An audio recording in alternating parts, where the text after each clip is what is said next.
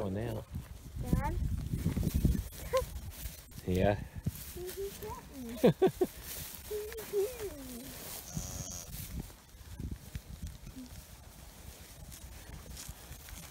Everyone, Bob Bush, North Prairie Livestock Company.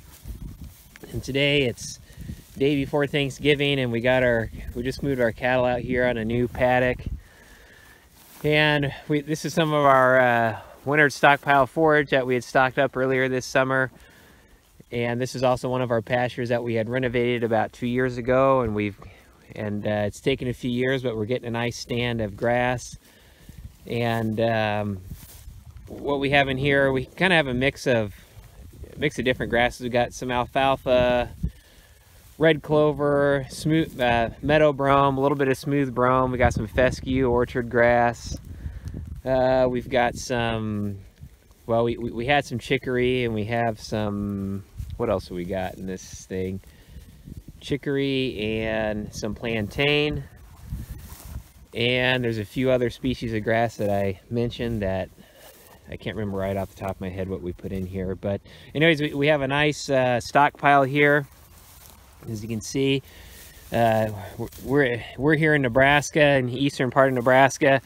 And it's been a fairly decent fall and the grass is still nice and green and the cattle are happy to be on this right now. We have uh, a few more acres of this nice winter stockpile stuff. Um, I really like uh, this is grass mix, especially the meadow brome. I feel like the meadow brome is uh, kept a little bit, a little bit greener and more palatable this time of year. Um, a lot of times, most of our pastures are primarily smooth brome, and a lot of times the smooth brome uh, goes dormant fairly early, especially after a, a couple killing frosts and the weather gets colder. And we've we've had that. And uh, we've had some weather. We've gotten here a couple weeks ago we had a pretty good ice storm and it got down about eight degrees and it, you know, it killed off quite a bit of our grass and some different species like that or it's starting to go dormant anyways. And um, but this pasture has done really well considering it's, it's been a only a couple years here since establishment. We're pretty pleased with it. The cattle are really happy with it. We got a a nice pasture to graze here and we're going to be moving on like I said we're going to be, be moving them on to some other pasture like this that we had established here a couple years ago as well doing some pasture innovations and again this is our South Poll herd and they're pretty happy it's it's been uh, this fall's been fairly decent we've had some some some cold shots but otherwise it's stayed well, I guess for us it's fairly mild. It's today's about, I don't know, 34 and here it's going now. And later this week it's supposed to get in the 50s. Uh, and hopefully it'll stay nice for a few more weeks before we get uh, real cold weather this winter. And um, so we've, we've had pretty good regrowth. This is the third pass that we've had on it on this uh, pasture this year. Um, we've been in a drought. Well, we were in a drought. Um, basically, the rain stopped.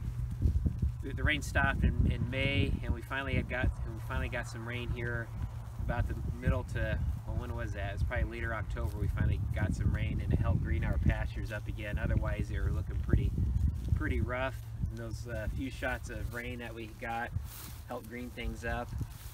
And I mean, you can see here we got a pretty good stand of grass for, for us this time of year. It's pretty good. You know, I'm glad that we have stockpiled this coming into this time of year. It's definitely helped us. You know, we don't have to feed hay right now or anything like that. So it's been great to be able to graze this.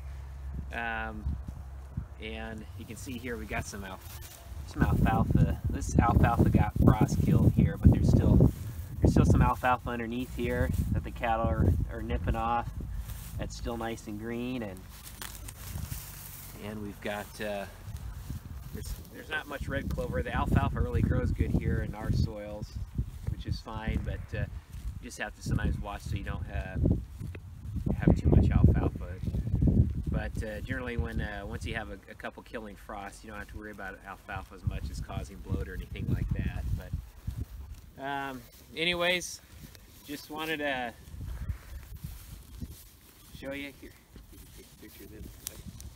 They're all pretty happy. They're, and again, we're, we're going to kind of go through here and just try to maybe take the, the top third or, or, or just kind of the, the tops of these plants. Because we, we do want to come back here hopefully later in the later in the winter and make one more pass through through this pasture so we don't have to feed. So like I said what we're really trying to do is just min, min, minimize what we're feeding in hay. So that saves us some money and, uh, and, and that's one of the bigger expenses with the grazing or the cow calf operation is your winter feed costs and that's what we're trying to uh, avoid is feeding a lot of hay so we can save some money. And uh, anyways everybody